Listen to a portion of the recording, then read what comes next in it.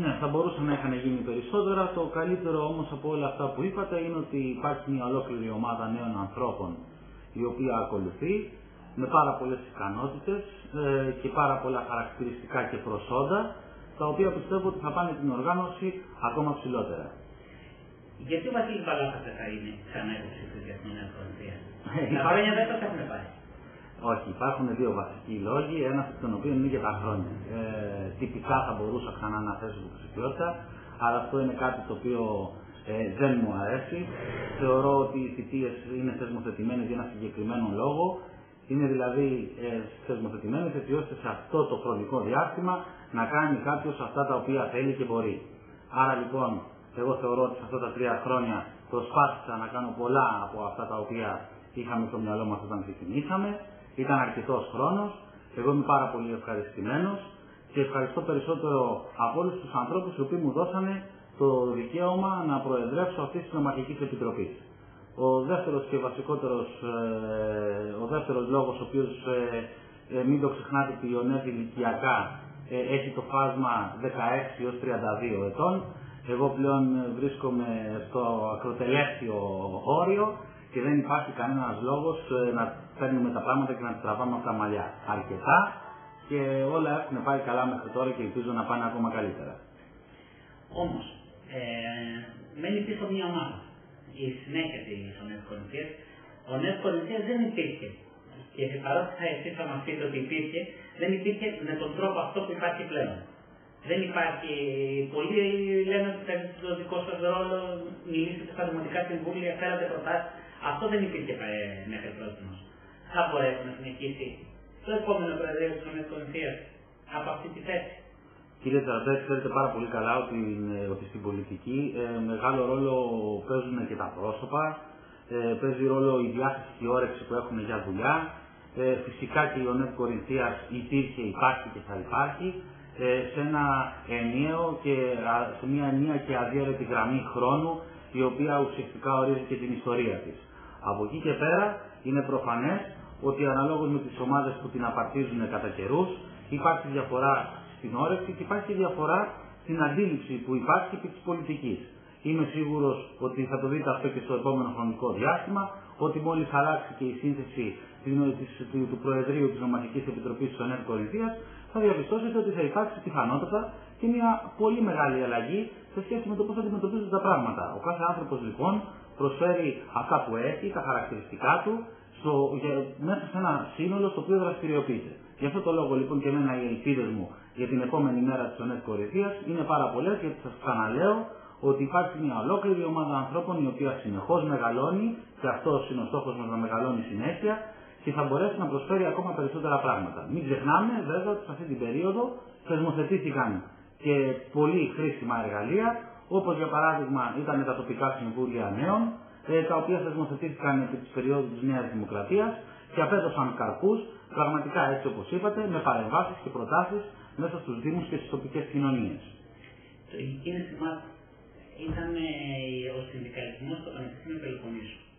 Το προσπαθήσατε πολύ και καταφέρατε να, να φέρετε τον αέρα της Ονέας Κορυφής στο Πανεπιστήμιο Πελοποννήσου.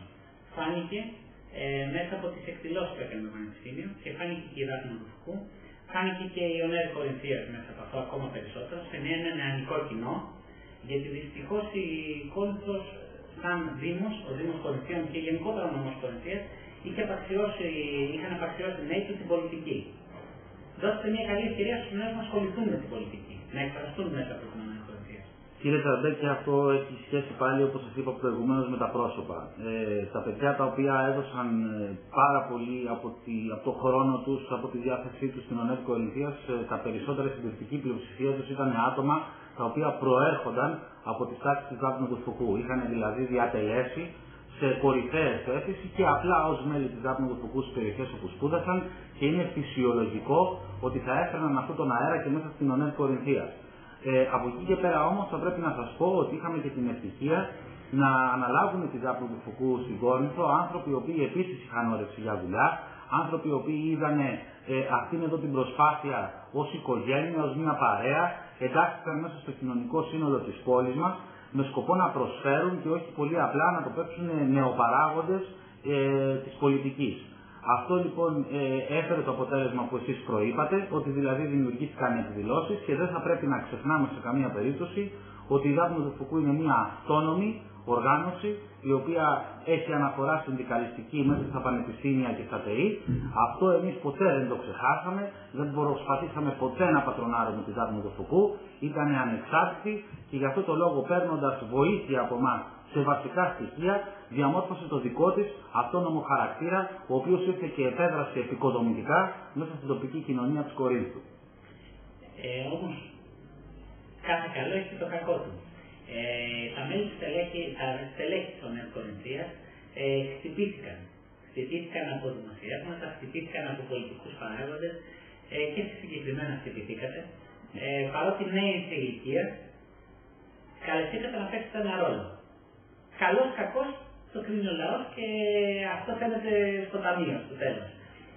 Ε, τι σας πλήρωσε περισσότερο. Σας έχω πει ότι, σας το έχω πει και άλλη φορά, ότι ορισμένα από αυτά τα ζητήματα ε, θα τα συζητήσουμε μόλις τελειώσει η θητεία μου και πλέον ε, δεν θα φέρω την ε, ταμπέλα του Προέδρου της Νοματικής Επιτροπής της Ονέας για να μπορέσουμε να πούμε και ορισμένα πράγματα λίγο πιο ελεύθερα. Όμως, έτσι όπως το θέσατε το θέμα, είναι προφανές, ανήκει στην ομοτέλεια της φύσης, ότι κάθε δράση φέρνει και αντίδραση. Εκεί λοιπόν μπορώ να σας πω, στην παρούσα φάση, ότι ορισμένες φορές ε, συναντήσαμε κάποια γεγονότα τα οποία ήταν είτε υπερβολικά είτε ήταν άδικα. Δεν ήμουν ποτέ αντίθετος με την οποιαδήποτε κριτική, αλλά πάντοτε θα ήθελα η κριτική αυτή να γίνεται καλοπροαίρετα.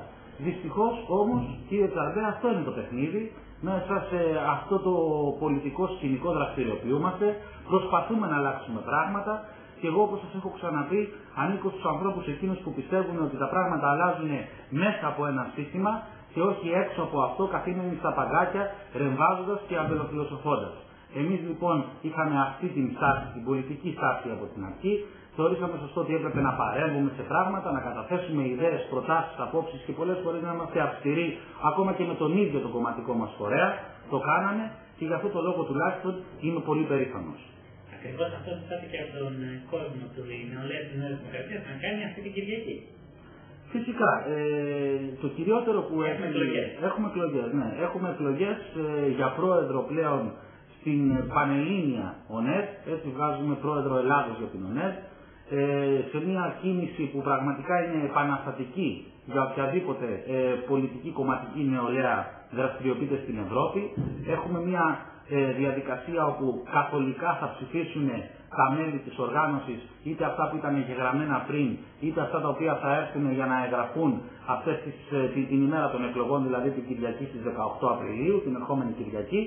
Και θα πρέπει να σας πω ότι είχαμε και μια διαδικασία η οποία τελείωσε εχθές, κατά την οποία προεδράστησαν στους ε, καταλόγους ε, των ψηφοφόρων άτομα ηλικίας 16 έως 18 ετών, διότι η διαδικασία η οποία θα ακολουθήσουμε για την εκλογή του νέου μας Προέδρου θα είναι όμοια με αυτή που, ακολουθήθηκε για την ε, Προεδρία του κόμματος, δηλαδή θα υπάρχει online σύστημα, ε, δύο κάλπες θα στηθούν, μία θα στηθεί στην Κόρινθο και μία στο Ξυλόκαστρο και θα έχουμε τις επόμενες ημέρες συγκεκριμένες ανακοινώσεις από την ιστοσελίδα μας για να ενημερωθεί και ο κόσμος που μπορεί να ψηφίσει.